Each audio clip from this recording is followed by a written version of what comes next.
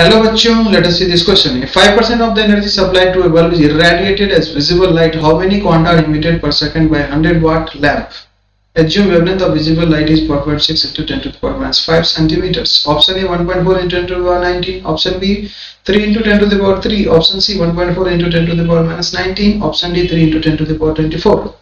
अब देखिए 100 वाट की बल्ब है 100 वाट्स की ये बल्ब है। और एफिशिएंसी है सिर्फ़ 5% इसका मतलब 100 वाट के बल्ब में से सिर्फ़ 5 वाट को ही वो कन्वर्ट कर पा रहा है 100 वाट की बल्ब है 100 वाट्स बल्ब। और इफिशियंसी है सिर्फ़ 55 परसेंट फाइव परसेंट का मतलब है कि eta equals to P out divided by P in और ईटा की वैल्यू यहाँ पे आप पुट करेंगे five by hundred output power हमें निकालनी है इनपुट पावर है हंड्रेड तो यहाँ से आपको आ जाएगी P out output power is five watts अब हमें number of photons emitted per second निकालने हैं। Number of photons emitted per second